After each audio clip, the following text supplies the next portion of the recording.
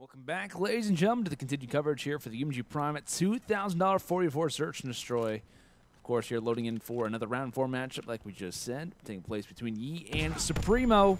Off the break here of round one, we're loading in for some London Docks. Of course, exact same map set as the prior series, where we got to witness the guys from the Side of Bean Squad take down No Tuck in a hot 2-0.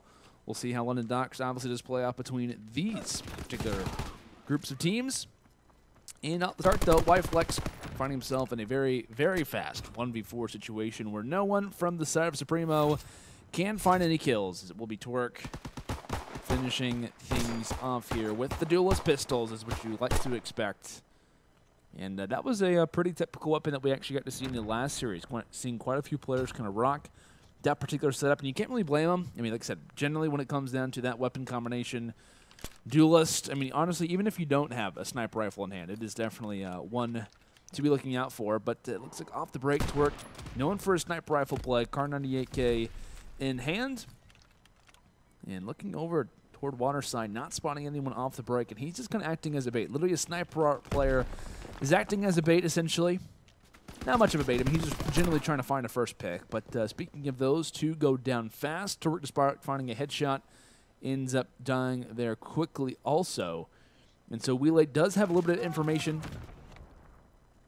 but can't really make a whole lot of that, and so sit in the fetal position and lowered in here for round number three. But yFlexx is able to drop this one. And some nice kind of confidence coming from the guys from uh, SupreMoe, of course. Not super familiar, I'm, I'm not going to lie, with any of these players. Uh, I've not really seen them make their mark. I want to say that uh, looking at their names, that Jake Chrism rings a bell, but uh, not really familiar with these guys. So Whiskey, yFlexx, Jake Chrism, and Exactions, I, am pretty sure is how you say it. Uh, of course, are trying to uh, to do the work necessary. But I like the pistol actually out here from Twerk, the uh, American flag. Got to respect it off the start. Loses his teammate HollyDizz, so kind of unfortunate way to start off this round number three. But WeeLaY, pistol weapon inside of fire. Twerk drops yFlexx from the corner, and just like that, we find ourselves in a 1v2 scenario. But despite the uh, kind of early aggressiveness being shown from E, it's not really working out. So I think that maybe the guys from E are getting a little bit surprised in these back-to-back -back rounds, how dominant, you know, kind of the round one victory was, that things can kind of continue on the same, but not at all the case. As SupreMoe taking back-to-back -back rounds and now loading in here for round number four. It will be the guys from SupreMoe on the defense as it looks like uh, yFlexx off the left corner. Nades being presented through mid-map, and HollyDizz is happy to find one off the start, but a nice nade actually comes in from Jake Chrism and takes out HollyDizz. So surprising factor to kind of see those trades happen. is when it comes into London Docks, we expect very quick rounds, but these are even surprising. As WeeLaY just trying to even get a little bit of health regen and try to plant the bomb down, actually has the intuition that someone probably is trying to make an engagement on the opposite side of water and guesses correctly. Keeping in mind, though, Whiskey on the flank and could make a major play happen. Fearless, bad timing, and you see him use great trigger discipline just try to get some information. Unfortunately, has WeeLaY turn around, so if right now, if you are the guys from Yi, you're having Fearless go on the flank, which is exactly what is occurring. And picture perfect play there in a 2v1. However, though, got to give props to Whiskey. Had great trigger discipline.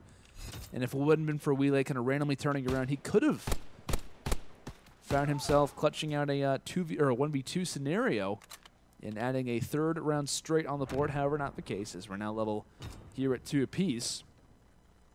And I'm curious, the guys from E kind of slow things down a little bit as uh, the kind of early aggressive play in uh, round two and three definitely kind of set them on an awkward course, but uh, looks like Twerk continuing on with that aggression, and he's going to pay for it.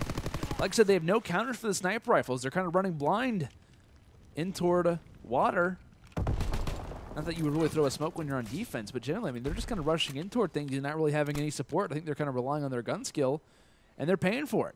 2v4 situation, Fearless making his way toward A, has no intuition that anyone is here, despite the fact that his teammate obviously dropped at the beginning of the round. So WeeLaY Last alive. 1v4. Scopes in, but doesn't take the shot. Now has the opportunity to go for it and can't finish it off. And right now, so smart play coming from SupreMoe. All of them realizing that we're on streaks. and not really wanting to uh, kind of heavily challenge him all at the same time. As uh, Whiskey, a continuous fight as his teammate will come from the backside. As SupreMoe grabbing their third round, so kind of impressed with these guys. But I'm, I'm not gonna lie, I'm impressed with their play, but I'm just kind of disappointed from what we're seeing from. I'm not sure if it's just a, a quick turnaround that they can make, but in back-to-back situations here for Twerk, he's running blind in toward Waterside inside of 10, not having any cover, and he's been dropped for the first blood each and every time that he's done that. So right, right now, if you're from if you're the guys from Yi, it's going to slow things down. I mean, I know that you're maybe you're not really familiar with the guys you're facing off against, or maybe it's just the confidence that you have coming into a match like this. But you got to respect them regardless. You got to kind of realize that hey, we're down in rounds. They're playing well. And it looks like they're going to start off this current offensive round a little bit slow. Looks like they send three through Waterside. Bomb was a little bit slow to the race, however starting to get picked back up as uh, Fearless, trying to join alongside of his comrades as HollyDizz drops off the start. And it looks like uh, yFlexx does take out Twerk inside of water. Whiskey on the flank, no one watching it. And Fearless, who's been kind of lingering here inside of barrel building for about the last 20 seconds, in the end isn't able to escape out of it. And I think maybe it, just kind of came to the fact that Yi tries to make their way toward A this round, but they don't have the objective in their hand. Twerk dies for the first, or not for the first blood, excuse me. I'm not sure if he actually died for the first blood in this last round or what really was the case, but loses an engagement inside of water. And uh, can't really pick up the pieces after, as uh, exactions three for six as far as first bloods are considered, as far as the overall total of this game. Three for four for his team as uh, could definitely find another on Fearless as that nice bait and switch situation comes in. Fearless starts to feel the pressure, tries to back up, but can't really make anything happen. Exactions and Jay Chrism firing two off the start. Whiskey continuing to dominate on the flank. He's been back here countless times, and Yi not able to respond from it. The drop snipe coming in from WeeLaY not going to be home. Thankfully does have a PPSH, but unfortunately does not have a whole lot of time to work with as this run should be done with. And it should be the fifth round here from SupreMoe. Definitely looking likely. Spot's actually out two players, one on the barrel head glitch and one sitting inside the coal room, however, isn't able to drop either. And really in these situations, you got to hand it to SupreMoe because they're not kind of getting overly confident in these situations, right? Whenever we found, you know, one guy inside a flyer, one guy through mid cut, when they have the man count advantage, when there's one player alive, they're just kind of hanging out. Like they're not trying to go for any kind of unorthodox challenges. They realize they have the advantage. And they're not being, they're not kind of acting cocky by. They're, like I said, they're just kind of playing themselves out, kind of playing some search and destroy, and uh, they're making it work. But uh, off the start here, Whiskey and Co. Nade to thrown toward back. Bus, and it looks like uh, FG42 shots raining here throughout round number 8 as Fearless goes for the rush. Does drop one. And just like that, Exactions left in a 1v2 scenario. So some positives here from the guys on Yi. As uh, Fearless, the main objective guy for the guys on Yi, yet to even plant the bomb down. As it uh, looks like uh, one player leaves. I didn't actually see what happened there. I'm not sure if that was a timeout or what really occurred. I'm being told that it was a timeout. So that's rather unfortunate. Not sure if we'll see a replay of what should be a round number nine, or if uh, Exactions and Co. are just going to feel super confident and just kind of roll on. They do only need one more round. So if Exactions, Exactions can get things done, kind of maybe call his teammate on the phone and say, hey, man, I actually clutched at the 1v2. We didn't even need you. Didn't even need you for uh, round nine. But a 1v1 engagement, going for the defuse, and does Twerk realize that he's on this? This is the thing with this spot. You can hold that close corner, does get the hit markers. And a smart play in the end, of course, coming in here from the man Twerk, right? Because in a lot of players' positions, they might not realize they have a nade or maybe wait till you kind of rock that utility, but it's the advantage of holding on to those tacticals and those lethals toward the end of the match. You can kind of see where it becomes useful from different moments. and. Obviously tosses up the nade to earn the information. Welcome back, ladies and gentlemen, of course, to the uh, current round four matchup taking place between Yi and SupreMoe. It is currently a three to five, or five to three advantage right now for the guys on SupreMoe. And uh, trying to close things out, had a little bit of a restart, had to get Jake Risen back in the game. Had an unfortunate disconnect, so back into things. Is a shout to production for, of course, getting the scoreboard updated for you guys. But uh, off the start, yFlexx dropping for the first blood. Jake Chrism also getting taken out as well. The duelist pistols are out to play, and Twerk with the nice kind of dodging, to say the least. He's able to uh, stay alive in the situation. And WeeLaY is able to drop Whiskey, so now loading in here for the next round. It's currently SupreMoe still with the lead. However, only one round separating these two. And it will be the guys from Yi on the offense. So we can actually go board with the uh, offensive team off the start.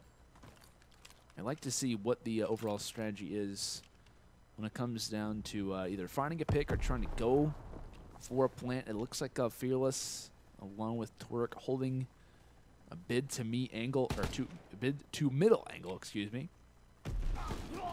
As uh, Whiskey ends up finding one. That's a big pick to find because now they're debating on what do we do with the bomb sites. We have no more vision when it comes down to B. We kind of have to focus all of our attention in toward A. They drop Twerk as well. Bomb is still in the back of the base. WeeLaY not really being able to make any kind of plays happen. And take a look at where these arrows are at right now. You see a 1v2 engagement on water side. You see the bomb who was kind of in a 1v1 engagement where he didn't really have any information. I mean, in general, this is a pretty sloppy offensive round coming in from the guys on Yi. And now we see WeeLaY in a 1v3 scenario. If he loses this round, London Docks is closed out. It's a 1-0 advantage for SupreMoe. And exactions somehow gets tagged to the side. I have no idea how the hit markers were found in that scenario, but it looks like map number one will be put in the books. The SupreMoe take a map one advantage here and uh, close out London Docks in the 10th round of play. But generally, when it kind of, comes down to uh, this last round, what really surprised me was the kind of fact of Yi splitting apart, right? I mean, really, when you're on offense, especially on London Docks, you kind of have to be very you know, kind of specific with your strategy. I think it's fair to say. Like you kind of have to make a four-man rush, if down to three to one, kind of push. And that last round, they said, what was it like? One through uh, coal room, one through middle, and two in water side, and the bomb is kind of in the back of the base. Like, I get what they're doing because at the very least they're trying to confuse the enemy. But uh, like I said, for the most part, it was just kind of static offensive play. Like not a whole lot really coming forward. I mean, it was kind of all over the place. Is what I'm trying to really trying to say here. But as you take a look here at the kind of round-ending scorecard, we see uh, Yi pretty inconsistent numbers, right? We see a round one victory, a round four victory, a round victory in round eight and round nine. And we look at the guys from uh, SupreMoe, right? I mean, they win all their rounds are pretty much back to back. I mean, essentially, they're kind of getting momentum time after time. They're winning two, three, uh, of course, in a quick kind of a line sight there. But still, though, like I said, while it was you know kind of spotty play coming in from the guys on Yi, I think they could definitely kind of pull things back, especially on a map like Saint Marie du Mont. You can really kind of mend things to your advantage when you do have the kind of line spot or the, the line sites, the kind of known spots on Saint Marie du Mont. It's a lot easier for like known search and destroy teams to really dominate on this map because of nade spots, because of different line sets. You kind of really bully your way into the B bomb site, kind of get things down and make the uh, kind of opposition struggle. But that's the thing, right? With the guys with the group on Yi, right? Because they struggled a lot on London Docks for kind of running in positions, kind of not really having a whole lot of kind of knowledge, but just kind of brute forcing their way, kind of using that prior information that they've taken from search and destroy maps and kind of just brute forcing their way in. And it really didn't work. Like SupreMoe was always there to counter snipe them. They were always there to kind of find a pick, really work off of that. So he's going to have to be careful when they kind of have a lot of this aggression that it isn't kind of wasted because if they play anything like they did at map number two, or map number one, excuse me, heading into map two, they're going to have a lot of problems. So it's going to be a very interesting map number two, to say the least. Of course, like I said, on St. Marie du Mont, if it is the guys on you who do close it out, we will be visiting USS Texas for map three. So uh, question being, can SupreMoe kind of pull up a, a, little bit of an upset, I think it's fair to say. I'm not going to lie, kind of coming into this series, I'm like, okay, we know the guys on Yi. We've even seen them win a lot of search and destroy tournaments, even kind of going back to the beginning of World War II. Where I was watching guys like Twerk and HollyDizz really dominate. Uh, I've seen WeeLaY and Fearless in a lot of our tournaments as well. I'm, pr I'm pretty much thinking this is going to be a dominant 2-0 victory. They're going to win this one, you know, in a pretty easy fashion. However, not the case. Uh, we'll see if they can respond here from that number two. Ladies and gentlemen, of course, to the continued coverage here for the UMG Prime at $2,000 44 search and destroy. Hopping in here toward map number two of our current round four matchup between Yi and SupreMoe loading in for some St. Marie du Mont. As uh, like I said, it is kind of a surprising result as we load in here for round one. The fact of SupreMoe taking game one on London Docks. They end up winning that one in a 6 to 4 fashion, but on offense off the start. Early shots coming in from Twerk. Him and HollyDizz will respond for the first blood. However, from that top red position, it will be Whiskey with an advantage. You can kind of see Twerk having a little bit of spotty play, not exactly sure where the shots are being tagged in from. Of course, he did have the objective in his face, so really wasn't able to spot where those were coming from. Does get dropped from Jay Chrism. So a 2v2. And really, right now, where's yFlexx at? yFlexx is not joining the fight whatsoever. A little bit late to the party. But now WeeLaY finding himself one shot. And the question is, where are each player lingering?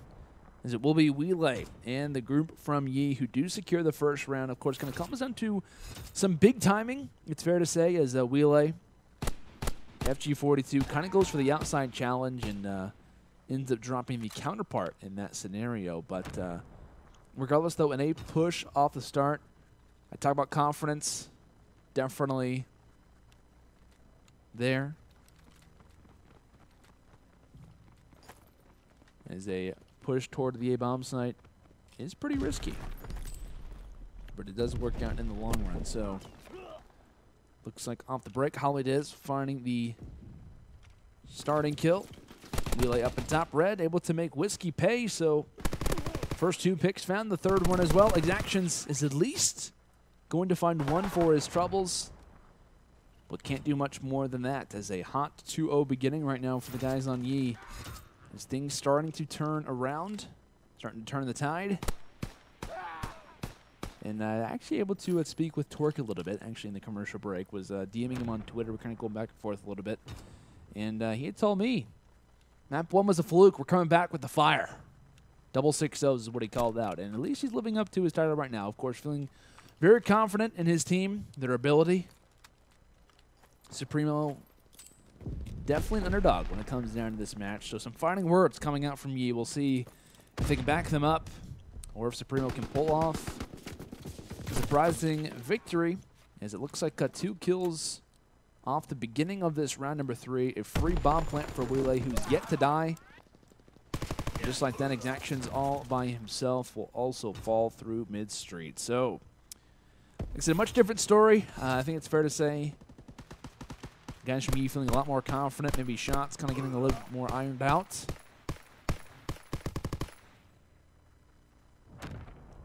And this is where I kind of discuss when it comes into St. Marie du Mont. Teams that are more practiced or really kind of more dominant at the search and destroy game and have a lot of an easier time getting in toward that B-bomb site. Just because it's kind of based off the position. Once you have the utility, you kind of know what it means to enter into a bomb site. It makes it a lot easier for you, but I like to play coming in here from round number four on SupreMoe. They toss out the nades along with the gas gas grenade to kind of counter. And what that gas grenade does, of course, kind of blocks your vision, of kind of stops you in your sprint. And once you start to slow down, a nade is ready at your feet. So it's nice to kind of find a few kills off the break, as now it's going to be WeeLaY. 1v3 watching his teammates fall, and he's a, kind of the most important player on this map right now for Yi. The guy who's closest to streaks. And now question being, is he going to go for the objective or just try to find kills or stay alive? A lot of different options and definitely kind of pulling the smarter play. Stay up. If a pick is available, you obviously can try to go for it, but what yFlexx is trying to do, and a Whiskey as well, trying to bait out some shots, and we like trying to take him down. No kills will take place. So kind of a worthy transaction for both teams is it will be SupreMoe who does chalk up a round, but on the opposite end it will be WeeLaY who does stay alive and has the potential to earn streaks later on in this match. So definitely someone that you want to be looking out for and loading in here for the next offensive round. It's definitely not surprising that the guys from Yi will supply the objective in WeeLaY's hands, but have to be very wary of a top red position or someone hiding in a corner. Exactions there to find one. Relying on Fearless to find the second. Thankfully, the nade is there. And you see how scared WeeLaY was in that position. Thought his teammate had his back. Thought the team the team support was going to be there. But Whiskey, he was known for being on the flank on London Docks. This time, though, it does not work out successful. WeeLaY with the big kill to take down one on the flank. However,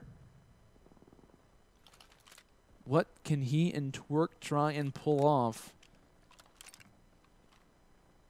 And it looks like uh, yFlexx and Jay Chrism are starting to sniff out what could be a B bomb site push at any moment. Is it's really going to be very reliant on timing. yFlexx has a pretty decent position there inside the top red. You can kind of check either bomb site in a moment's notice. Nice shot coming in from Twerk. Twerk. However, Jay Chrism does have the bomb site to kind of work with. And you're probably going to see Twerk. I would say probably I thought what he was going to try to do in that situation was jump on that kind of radio tower uh, kind of, I guess, uh, position and try to jump off of it. Maybe try to take him down. But regardless, head glitch v head glitch and Twerk wins the fight as he actually finds the final two there inside of B is off the start of that last round. Looked a little bit scary for the guys on E, right? Because, of course, you have one guy kind of hanging out in a corner. Exactions does quite a bit of damage as far as uh, ends up dying by a nade. Thankfully, Fearless's nade was there to drop him, but kind of a last-second situation where had to drop back and pick off things. But speaking of that, Twerk dropping two off the start. And now looking for two more. Whiskey and Exactions, the other two remaining. And just as we start to talk about that, they both find kills in their own regard. So now we're at a 2v2 twerk. Tries to go for the nice peek. Nearly takes out the backpack of one of the remaining players, but WeeLaY is there to drop one, and Whiskey now a 1v2 has found at least one kill in this round, but needs the hat trick to chalk up the second win in total for here at for SupreMoe.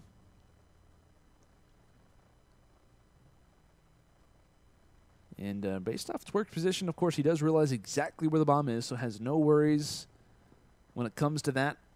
And they're just going to kind of hang in this position. They, they, I mean, really, right now, if you're in Twerk and WeeLaY's spot, they have no reason to really move from their positions. As long as they know where the bomb is, they don't have to move. They literally don't have to move an inch as long as they have a pretty decent setup happen. And Whiskey's not going to have enough time to grab this bomb and get it down. He does find Twerk, and right now if you're WeeLaY, just get away. Yeah, just, just stay where you're at. No reason to do anything in that situation. So smart play coming in from Ebo. The do drop a member in Twerk. A round will come about from it in the end. And Twerk told me heading into St. Marie du Mont, it would be a 6-0. Granted, at least one round has been found from SupreMoe, but a pretty accurate prediction. It's definitely a different looking team when it comes down to St. Marie du Mont. As a pick is found, but looks like Jay Chrism finding two headshots onto both WeeLaY and Fearless. So Twerk is going to need an ace in this round and is not able to find it. As I would have loved to have been able to watch what really kind of transpired in that round from SupreMoe, of course, getting a major boost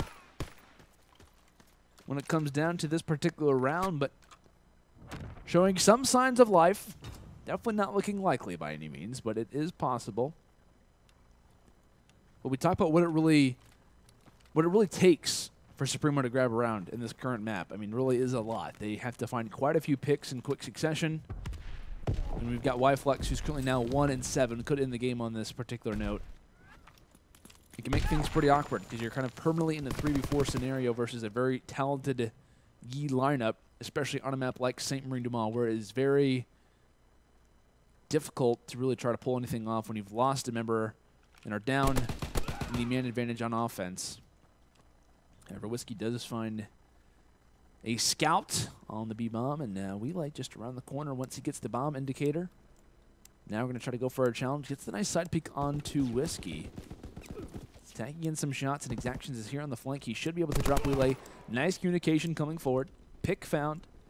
And that's working HollyDizz with a man disadvantage only for the moment. Now have to try to retake, but HollyDizz a position to try to find off too, but not able to make it happen. And notice Streaks on the back end here for SupreMoe as Exactions and friends will grab their third round and they just secured an offense. So this is a big deal, right? Because right now for Yeep, they're feeling pretty confident in either bomb. If they make their way toward A, things could not be looking good. So right now, if you're if you're Yi, you're really hoping that they make a typical push toward the B bomb site, or at least play passively. Because if not, things could get awkward. And it looks like they're not even going to grab the objective, which uh, is neither here nor there. Player number three, WeeLaY, going to drop this. And like I said, they have some pressure toward A. I mean, HollyDizz they're playing for picks. If they find something, they have no issue in dropping it. But here comes the glide from, from above.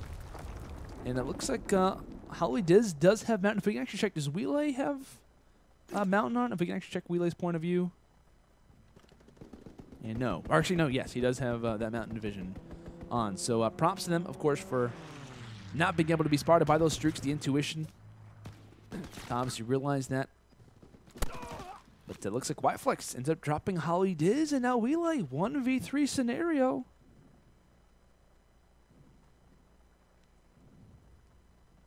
What can he try and pull off here? Is he's not going to be able to make much happen. I mean, like I said, the players are stacked inside. Oh, so if he rushes inside the square, he stands no chance. He, he ends up dropping one, and he's not going to stay alive for much longer. Yeah, I was going to say, just kind of walks into a unfortunate scenario there for SupreMoe, kind of like a trap. His uh, foot goes over the string. And the shots to the back are there from yFlexx as he ends up dropping the final two in that case. But it started off five rounds to one. SupreMoe able to fire back. And now are only one round away from forcing a round 11. However, this is a very difficult task.